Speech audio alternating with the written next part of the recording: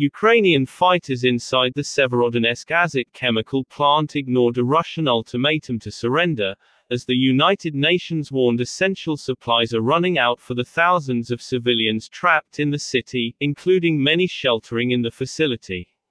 For both Russian and Ukrainian forces, fighting for key towns and cities such as Severodonetsk was devolving to small groups of troops typically operating on foot, the United Kingdom's defense ministry said.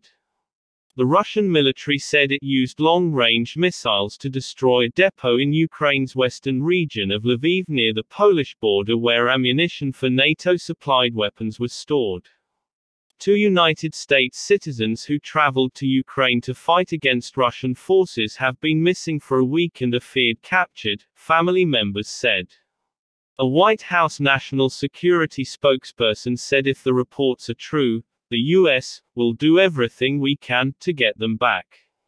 Washington announced an additional $1 billion in security assistance to Ukraine, including 18 howitzers, 36,000 rounds of ammunition, and 18 tactical vehicles to tow the howitzers. Russia's UN ambassador denounced Western countries for supplying weaponry to Ukraine.